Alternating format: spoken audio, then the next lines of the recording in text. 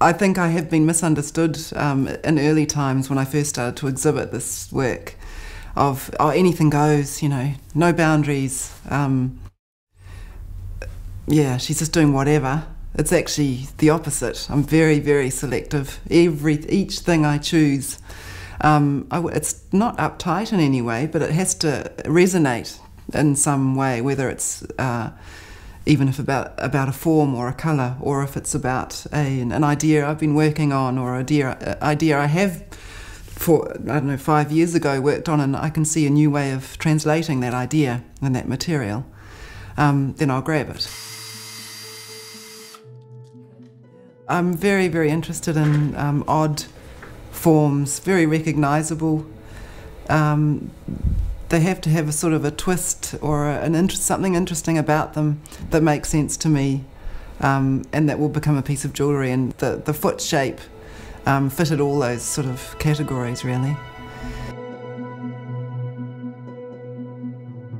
I'm always interested in this tension between an oddness and beauty, and my interpretation of what something beautiful is.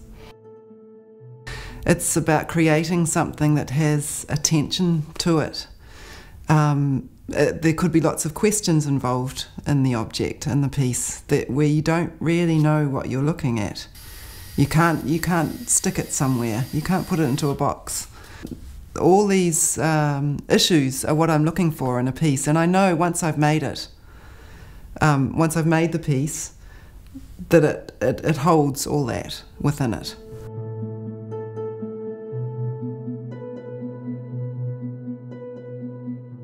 I've exhibited a lot all around the world, and I and I think especially with the internet too, I, I pretty much know what's going on everywhere, and I can really use that information to my to my to as an influence.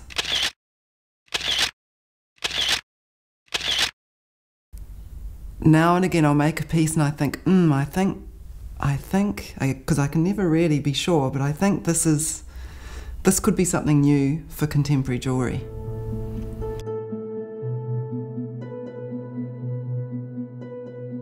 To use glue, that is the total taboo, taboo material.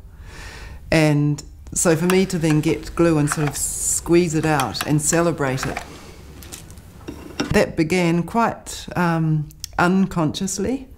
I'd be making pieces, fiddling around with all these the, the, the, new materials I was starting to use, and a few drops would would spill onto my table, and they would harden, and so I'd just flick them off as because that was just a material that was there. So I'd flick them off and they would start to become incorporated into pieces.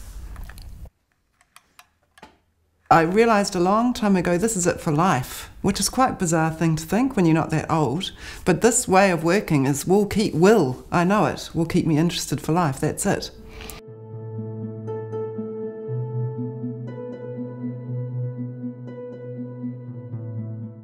This was a rare time where I've made a piece with a person in mind and an event in mind. I made for a friend who was getting married. I thought, okay, I must make, I want to make her a piece to wear to for her wedding. I curved it, I made it, and instantly I could see it, this works. There was no more to do.